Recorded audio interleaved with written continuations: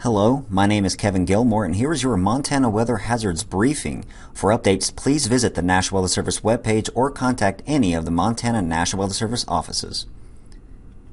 To begin this week, critical fire weather concerns will continue across portions of northwestern and north central Montana. In these regions, a red flag warning is in effect through late Monday evening. Within this area, very low relative humidity as well as gusty westerly winds will support widespread fire weather conditions.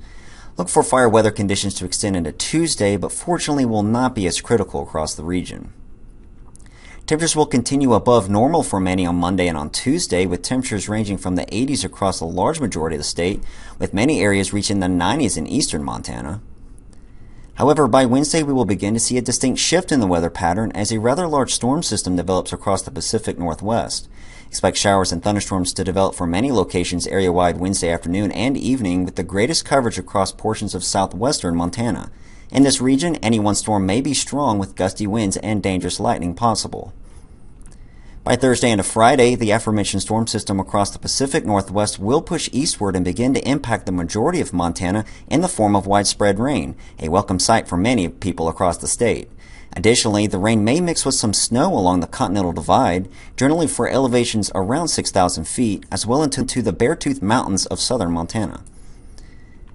Here's a look at the five day rainfall total across the state ending on Saturday morning. It is clear that the majority of the state will experience upwards of one inch of rain, with locally heavier amounts possible across central parts of Montana.